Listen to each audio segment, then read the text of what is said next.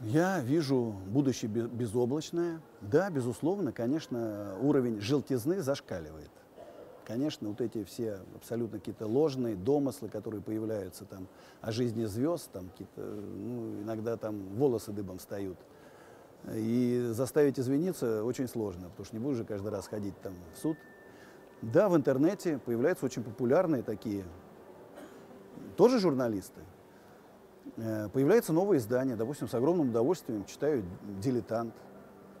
Пусть популя- популярно, но излагается все-таки история. А, Для себя узнаю много нового, то, о чем я там не знал, то, что в книжках не читал, а в школе уже, может, и подзабыл немножко. Я не думаю, что все так очень страшно. И потом не забывайте, что все-таки мы такой переживаем период еще, скажем, восстановления.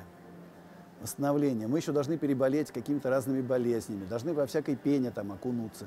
Пока это все успокоится, устаканится. Но я не, не- вижу ничего, ничего такого, какого-то, что такого страшного, сверхъестественного, чтобы сразу прям кричать караул, что все, все плохо и ужасно. Есть огромное количество талантливых журналистов. Да, есть продажные журналисты, которые работают на интересы там, государства, там, на интересы олигархических структур.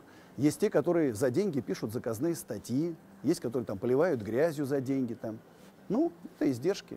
Свобода слова – это великая вещь, великое завоевание.